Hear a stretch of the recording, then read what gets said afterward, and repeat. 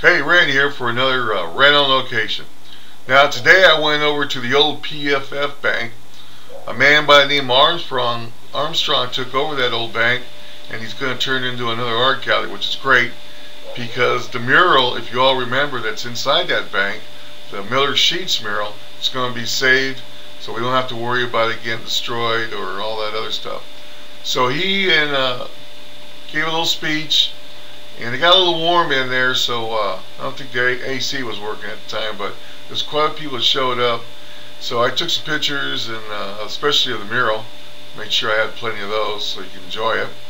And uh, so, like I said, it got a little warm, so uh, took my pictures and uh, came back and uh, put this video together for you all. So anyway, the Millard Sheets mural saved, and it's looking good, as you can see from the video. And also, I include at the end of the video some floor plans that he has planned to do with the bank. So check that out also. Okay, like always, you take care. Take care of those ones you love. Thank you. Thank you very much. Bye.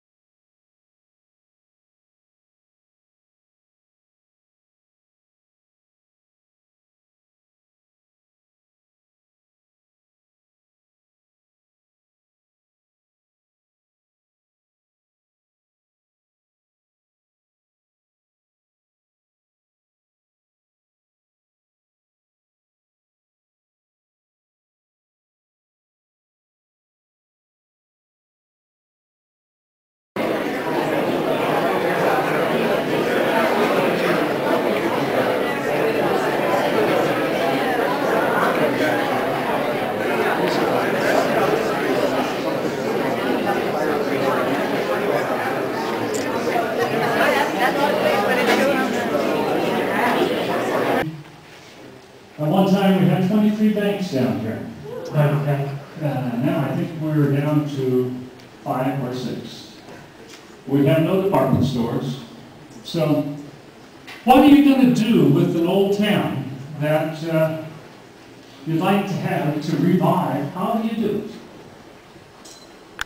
Well, I used to be president of the Pomona Central Business District. And while I was president,